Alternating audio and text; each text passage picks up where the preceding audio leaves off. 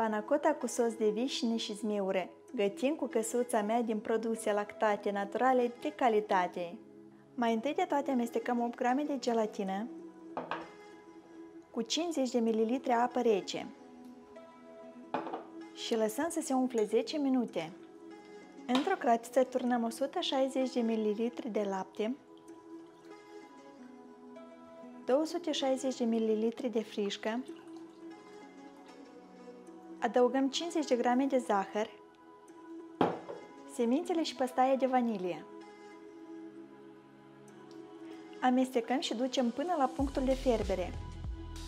Stingem plita și lăsăm să se infuzioneze 2 ore sub capac.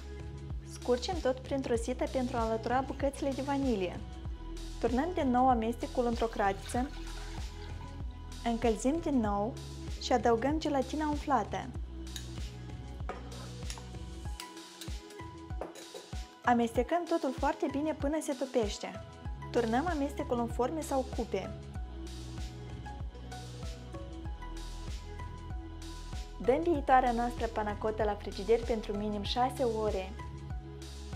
Pentru sos într-o cratiță adăugăm 200 de grame vișină fără sâmburi, 200 de grame zmeură, 50 de grame de zahăr și 50 de ml de apă.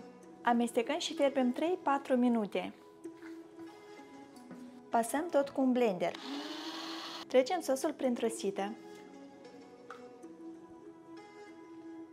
După câteva ore, scoatem panacota din forme.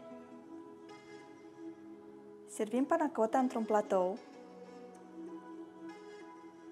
cu sosul nostru pregătit mai devreme